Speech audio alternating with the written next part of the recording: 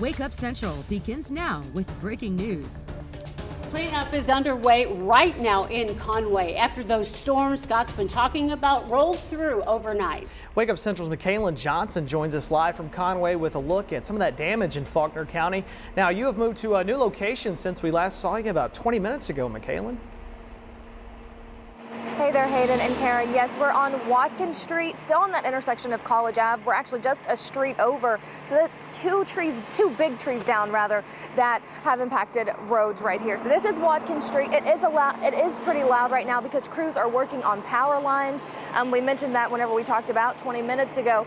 Um, there are power lines down. Around 5,800 Arkansans without power, but are only around 100 in Faulkner County.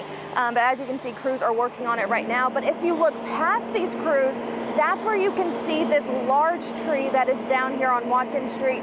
Crews are currently working to try and make it as small as they can and move those pieces around.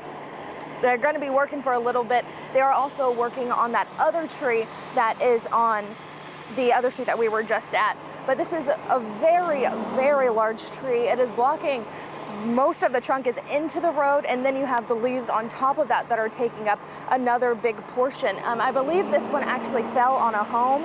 Um, we will be moving closer in just a minute once we send it back to you to be for sure. But again, big tree.